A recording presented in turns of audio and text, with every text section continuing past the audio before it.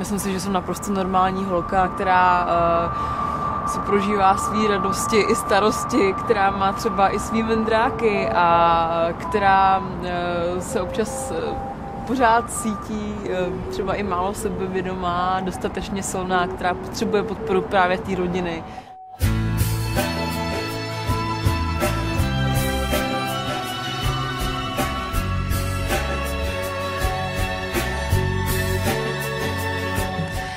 Oblast těch nádherných luxusních šatů, šperků a úžasných společenských akcí eh, je jenom dočasná záležitost a že ty hlavní, hlavní životní hodnoty jsou úplně někde jinde.